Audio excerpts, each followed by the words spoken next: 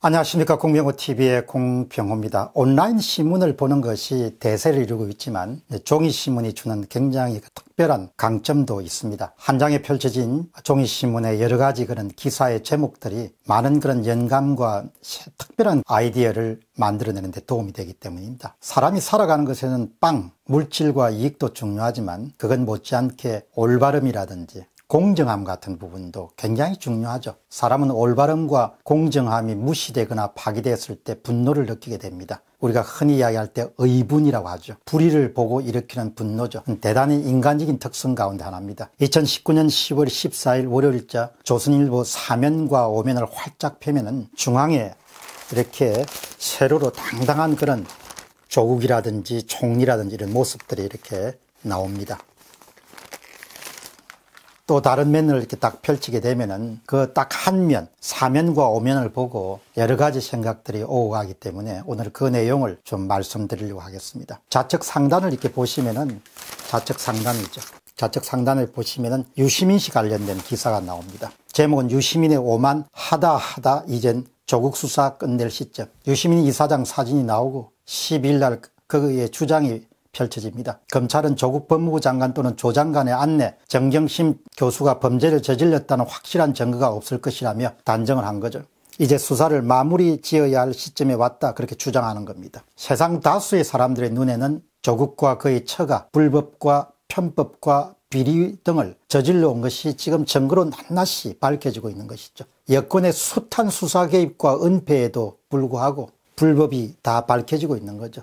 이 땅에 양식 있는 사람들이 느끼는 의분이란 것은 죄도 죄지만 이를 깡그리 무시하고 불법을 합법으로 우기거나 또 유죄를 무죄로 바꾸려고 하는 직권정 사람들의 또 직권정 사람 그 외곽에 협조하는 사람들이죠. 거기에 대해서 사람들은 의분을 느끼는 거죠. 불의에 대한 분노. 좌측 하단에는 이런 제목의 글이 나와 있습니다. 조국 서울 대구 광주만 남기고 검찰 특수부를 없앤다. 기사 제목입니다. 그 기사에는 14일 날 발표될 예정인 법무부의 검찰 관련 발표문을 두고 조국 발언이 실려 있습니다. 이번에 무슨 일이 있더라도 끝을 봐야 된다. 그게 그의 주장입니다. 조국 조국 발언을 딱 저는 보는 순간 이 사람은 자기 생각만 옳다고 주장하는구나. 어떻게 자기 생각에 대해서 이렇게 과신이나 오만이 심할까? 이런 생각을 먼저 떠올리게 됩니다. 뒤로는 온갖 종류의 비리를 저질러 온 사람치고 당당한 것인지 아니면 뻔뻔한 것인지 도무지 종을 잡을 수가 없습니다. 세 번째 오른쪽 상단입니다.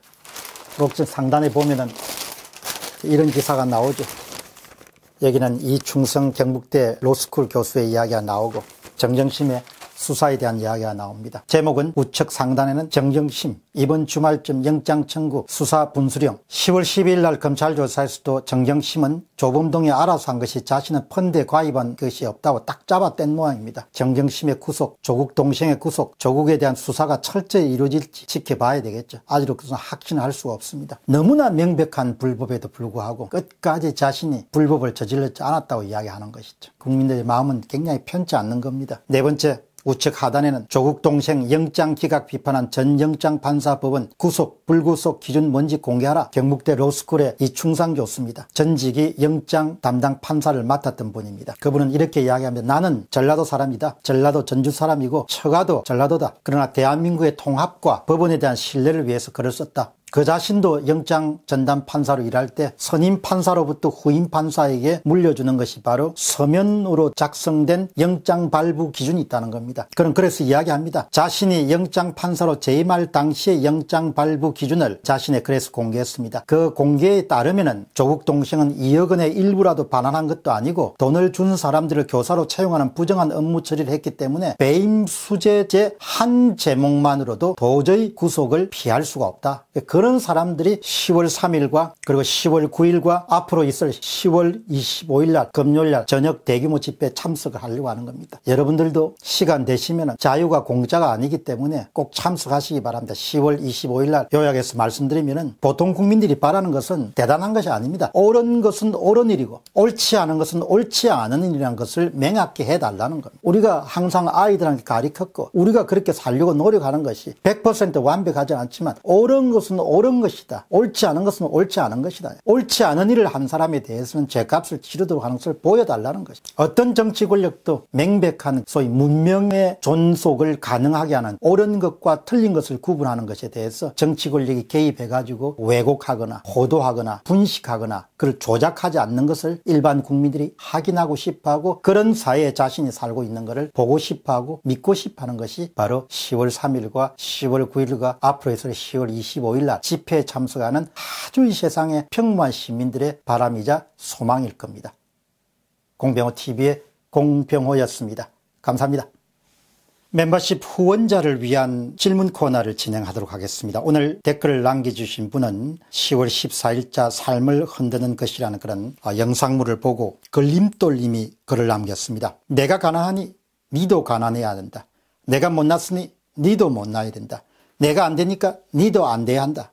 배고픈 건 참아도 배 아픈 것 못 참겠다. 평등을 지향하는 사회, 가난으로 나아가는 사회, 사회주의 체제들이 바깥으로 내놓지 않았지만 제도와 정책을 추구했던 체제는 바로 걸림돌님이 이야기한 그런 마음가짐이 들어 있었습니다. 법령을 고쳐서 아예 이제는 자사고를 없애버리려는 그런 사례들이 아마 걸림돌님이 지적하는 그런 내가 가난하니 니도 가난해야 된다. 이런 심보이지 않겠느냐 그런 생각을 합니다. 가난으로 가는 지름길인 것. 절대로 그렇게 그 길을 가서는 안 됩니다. 걸림돌님처럼 멤버십 프로그램의 후원자로 가입하시면 댓글과 질문을 남기실 수 있고 그것에 대해서 저는 영상으로 답변하는 시간을 매일 갖고 있습니다. 앞으로 멤버십 프로그램의 후원자 등록에도 깊은 관심을 가져주시면 좋겠습니다. 우리 사회가 더 역동적이고 더 자유롭고 더 훌륭한 사회로 나아가는데 씨앗을 뿌리는 일이 될 것입니다. 감사합니다.